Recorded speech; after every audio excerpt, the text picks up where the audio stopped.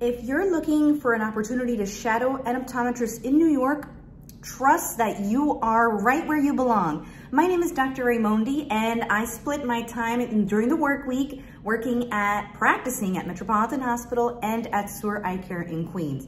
And this video is going to be tips for you, the student, on how to make the most of your shadowing experience, student, sh student shadowing best practices.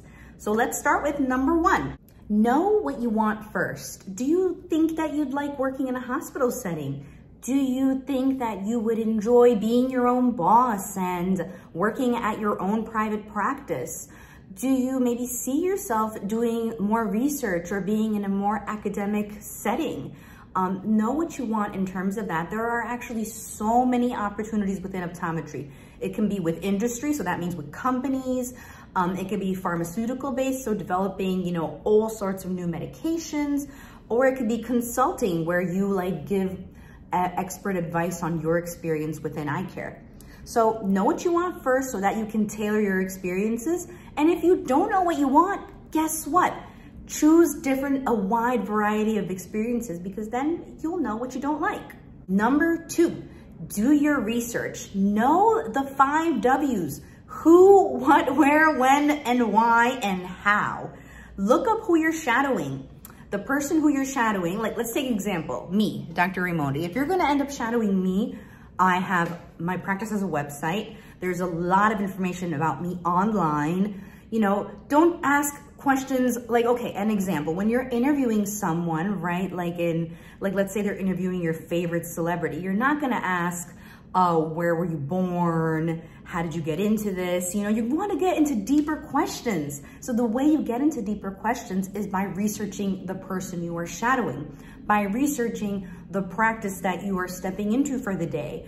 It wasn't built in one day. It took many, many years for this to happen. So to make your experience more enriching, it would be so beneficial for you to look up what this person has done, what they've achieved, what they're working on and what their, you know, values are. It's printed all over on everyone's website. So that's something for you to look at. But looking back here at my notes, um, who are you shadowing? Why are you shadowing them? What mode of practice are they in? Knowing this information is gonna help align your goals with theirs and then you can both like really work together and hey, it might even lead to a letter of recommendation or more shadowing uh, time and opportunities with this person.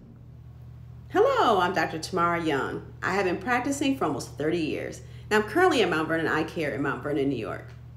I enjoy mentoring, so that's whether as an optometrist or outside of the profession. So I'm glad to be here to provide you with tips to begin your shadowing journey.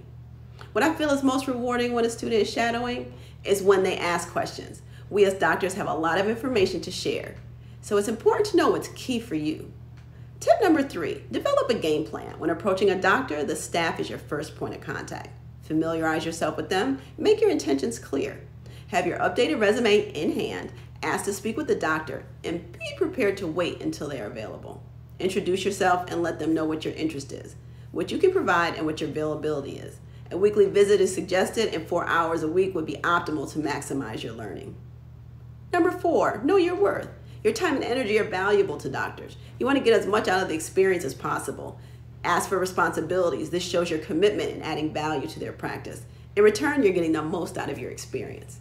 Tip number five, now that you have your foot in the door, make sure you get the guidance you need. Be prepared with questions and don't hesitate to ask. You will find people love to talk about what they do. I began earlier saying that's my favorite part of shadowing. The information that you're inquisitive about is most important. Lastly, shadowing attire is business casual. Dress to impress, dress for the part. Now that you are prepared with all these tips, click the link in the description box to find a directory of optometrists in New York that are ready for you to come in and shadow. Best of luck on your journey.